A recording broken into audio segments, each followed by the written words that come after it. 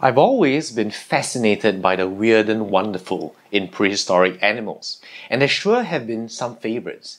The useless arms of Carnotaurus, the sheer bulk of the sauropods, the different ornamentations of the ceratopsians, the list goes on and on. But there's one non-dinosaur reptile that's fascinated me ever since I heard of it. It's a marine reptile from Yunnan, China, and while my little knowledge of marine reptiles goes only as far as Plesiosaurus, Mosasaurus, and Liopleurodon, when I first heard of this mid-Triassic animal, I was hooked.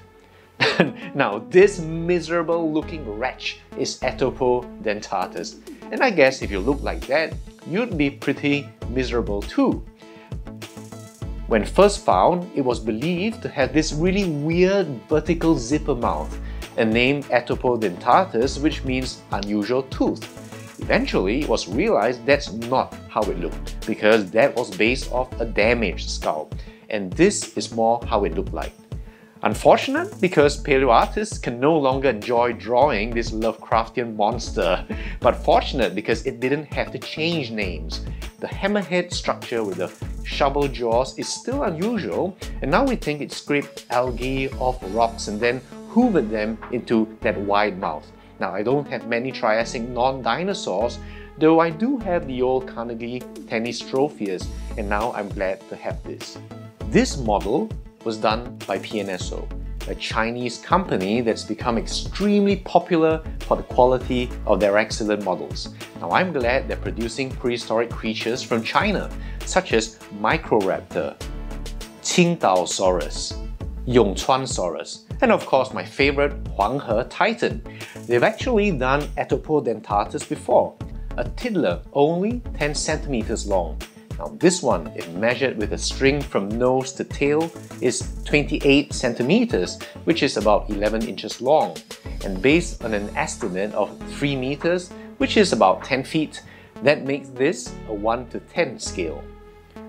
Now at this scale, you don't see individual teeth, but the rows are painted very well with no bleeding. And the weirdness of the head is really captured in 3D.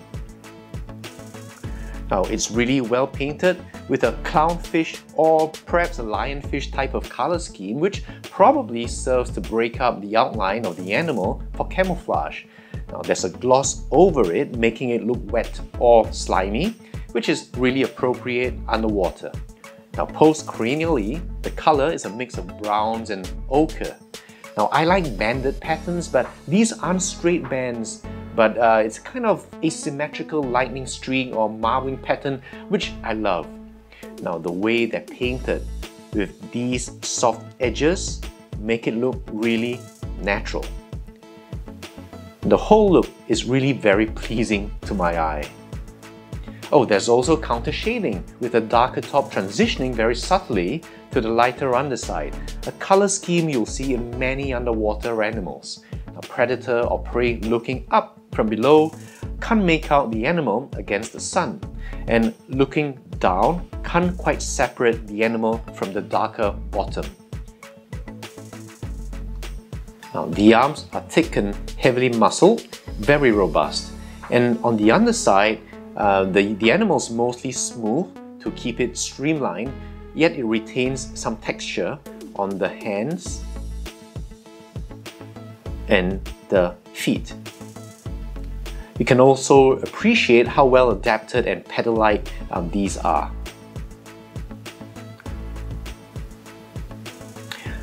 The tail is flattened to aid in swimming